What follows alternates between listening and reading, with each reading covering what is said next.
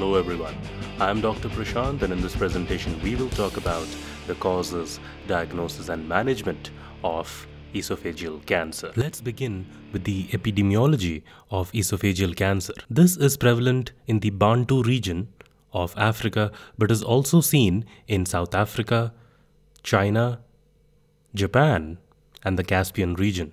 Let's now discuss the etiological factors causing carcinoma of the esophagus, and these may be studied under carcinogens, factors predisposing to squamous cell cancer, and factors predisposing to adenocarcinoma. The carcinogens include alcohol and tobacco use. Regrettably, alcohol and tobacco will cause up to 1 billion with a B deaths in the 21st century. Additionally, there could also be human papilloma virus and Helicobacter pylori as well as pickled foods and nitrates in kettles. Additionally, food containing fungi such as Geotrichium candidum may cause esophageal cancer and this is found in pickled and dried corn. Also, the Fusarium species and Aspergillus may also contribute. Aspergillus is also seen in corn. The predisposing factors for squamous cell cancer include palmoplantar keratoderma, or tylosis, also called the Howel Evans syndrome, esophageal web, patients with head and neck cancer, Lye strictures, Plummer Vinson syndrome, celiac disease, esophageal achalasia, short esophagus, and thermal injury. The factors predisposing to adenocarcinoma include Barrett's esophagus, which is defined as the metaplastic replacement of squamous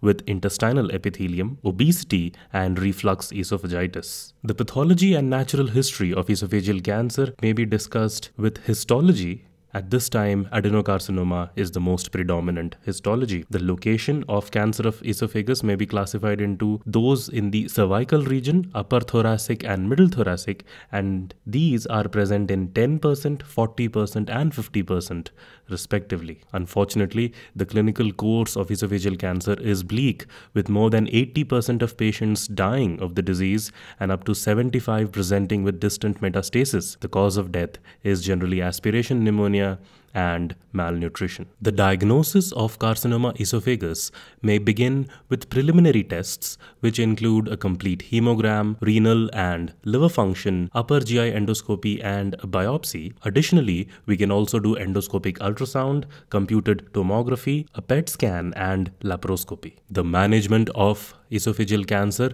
consists of resection of the primary tumor, palliating an obstructed esophagus, single modality treatment, combined modality treatment, and treatment of advanced disease. Resection of the primary tumor consists of endoscopic mucosal resection and this carries an operative mortality of 5 to 10% and patients should be able to take about 1500 kilocalories per day if not, then a feeding tube may be considered. Palliating the obstructed esophagus is of critical importance. This has the advantages of giving the patient an improved ability to swallow, the pleasure of oral alimentation, and relief from pulmonary aspiration. The contraindications include a carcinoma which is less than 2 cm below the upper sphincter and a limited life expectancy. The complications include perforation, dislocation and tumor growth, stricture formation, obstruction, bleeding, and failure of intubation. Palliation of the obstructed esophagus may also be done with external beam irradiation, and up to 70% of patients will experience improvement. A feeding gastrostomy does not palliate dysphagia and is generally not advisable. Single modality therapy for carcinoma of the esophagus consists of radiotherapy alone at a dose of 6000 centigray and carried a survival of 33% at the end of one year. Surgery alone, and this consists of transhiatal or the Ivor-Lewis procedure, which requires both thoracotomy and laparotomy, and chemotherapy alone, which is used infrequently because of poor survival rate. At present, the gold standard for management of carcinoma of the esophagus is combined modality therapy, which may be classified into primary combined therapy without surgery, pre or post operative radiotherapy alone, perioperative chemotherapy alone, and triple modality therapy. The primary combined therapy without surgery consists of definitive chemoradiation, which is an option for non surgical candidates, and chemotherapy is given during the first four weeks of radiotherapy. Earlier options included cisplatin and 5-fluorouracil.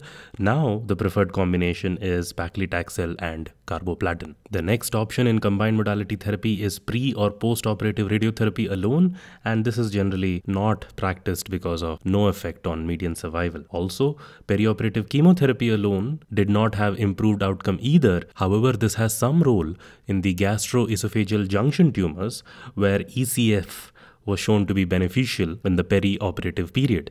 ECF stands for epirubicin, cisplatin, and 5-fluorouracil. Finally, the triple modality of therapy consists of surgical procedures, chemotherapy, and radiotherapy, which increases the survival by up to three years.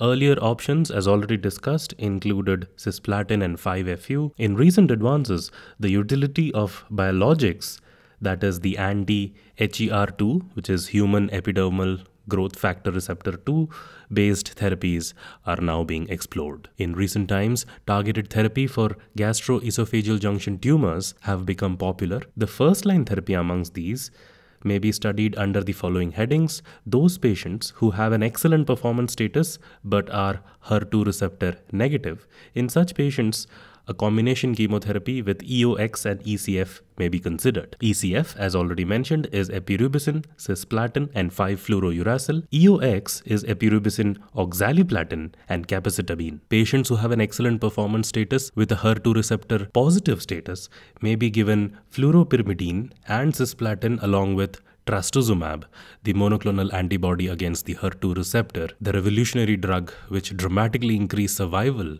in HER2 positive breast cancer. Patients who have a poor performance status or advanced age may be considered for FOLFOX and FOLFIRI or best supportive care.